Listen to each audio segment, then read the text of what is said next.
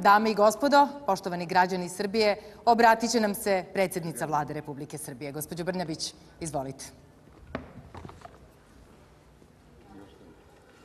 Poštovani borci Narodno-oslobodilačkog rata i članovi udruženja boraca Narodno-oslobodilačkog rata, poštovane porodice boraca, poštovani zvaničnici, predstavnici zakonodavne, sudske i izvršne vlasti, poštovani predstavnici evropskih antifašističkih udruženja, predsjedniče Međunarodne federacije antifašista, poštovane ekscelencije, ambasadori, predstavnici diplomatskog kora, građanke i građani Republike Srbije.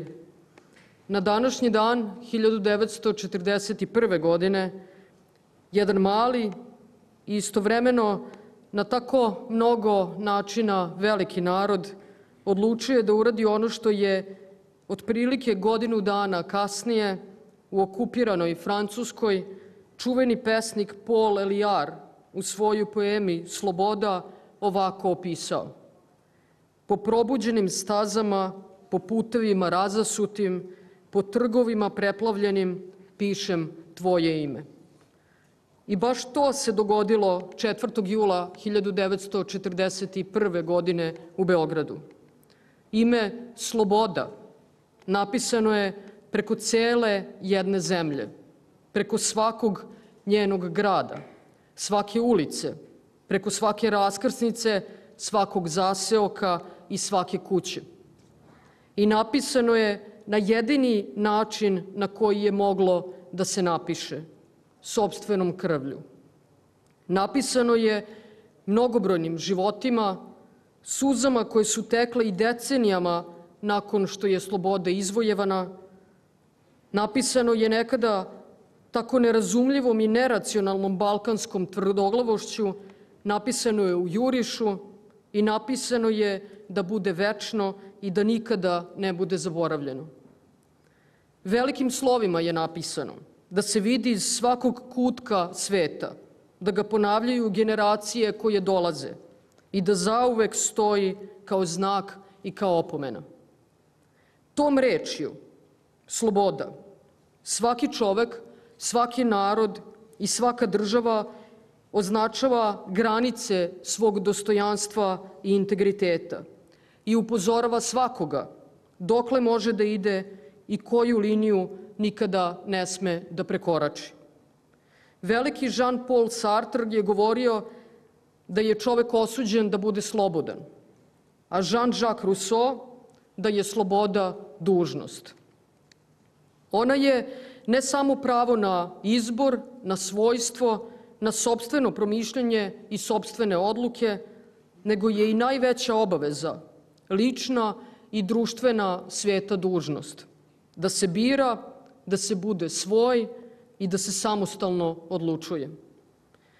Biti svoj je ovde na ovim našim prostorima predugo bio tek samo san, a kada je počeo da se ostvaruje, to nije bilo moguće na drugi način osim u sobstvenu krv, uz nesebičnu i ultimativnu žrtvu i grobove koji su i sami bili spremni da se bore.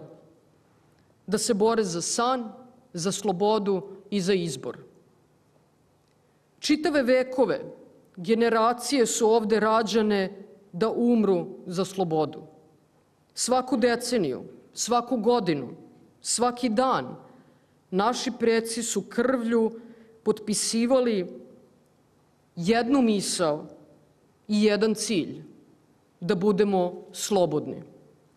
I 1941. godine i sledeće četiri godine ovaj prostor je ponovo bio natopljen tim mastilom i ponovo su nesebično davani životi, ponovo je svaka žrtva bila prihvatljiva da to ime sloboda opstane i da taj san bude java.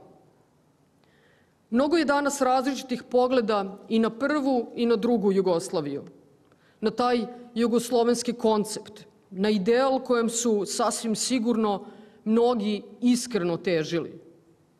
I znam da mnogi žele danas da najveći deo toga zaboravimo, da proglasimo za grešku. Ali ako to ikada sebi dozvolimo, i ako to ikada uradimo, zar nećemo, brišući taj deo istorije, izbrisati i sebe? Previše je velika ta reč sloboda da bi postojala samo danas, a da ne postoji juče. Odakle nam ona? Ko nam je dao? Od koga smo je nasledili? I na kraju, zašto nam je preneta, ostavljena, ako nemamo koga zbog nje da slavimo?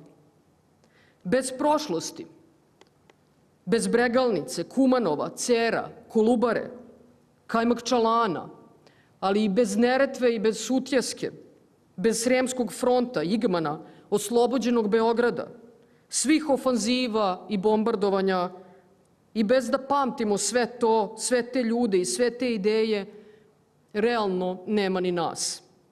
Iz njih smo stvoreni, oni su u našem kodu, u našim genima i nikada ne smemo da zaboravimo tu važnu činjenicu. Ova Srbija danas, zemlja naslednica tradicije, zemlja sa najviše žrtava, zemlja koja je slobodu širila poput vesti i poput nade, bez svih i baš svih koji su u sve naše slobode ugrađeni, ne može da postoji.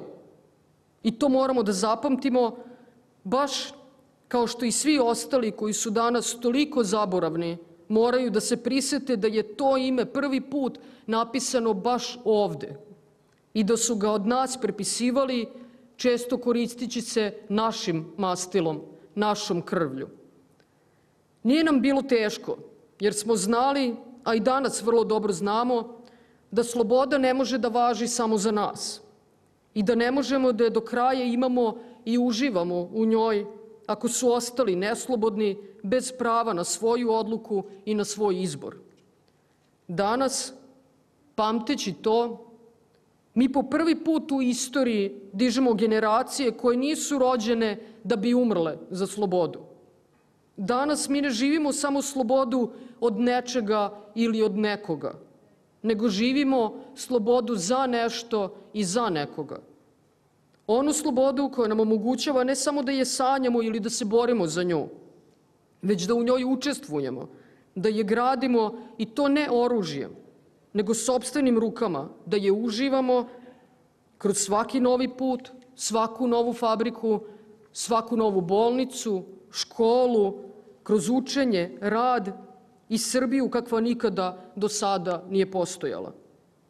I danas nije Srbija protiv, ona je Srbija za.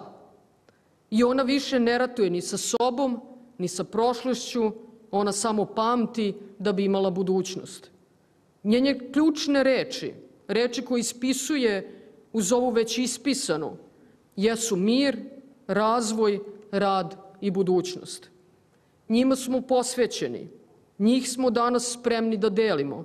One su naša politika, naš stav i naša ponuda svima. Balkan je suviše mali i nema na njemu više mesta za grobove i smrt.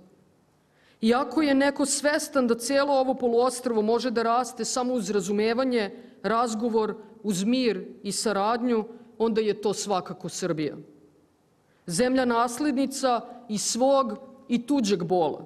Ona koja je najveću cenu platila ne pitajući ni za koga je plaća, niti zašto je plaća. I zato danas na ovaj dan mi, pamteći našu isprepletanu prošlost, slavimo i želimo istu takvu budućnost celog regiona. Hoćemo da naši ljudi, kapital, usluge, rad, roba, znanje, talenat, kreativnost budu ti koji će biti ukršteni, izmešani, isprepletani, jer je to najbolji i jedini mogući način da svi budemo slobodni i slobodu istim glasom izgovaramo i na isti način čujemo u bilo kom delu Balkana. I više od toga Srbija niti može, niti treba da nudi. Ona je odavno svaku svoju grešku platila i danas više nema razloga niti da se stidi prošlosti, niti da se krije od budućnosti.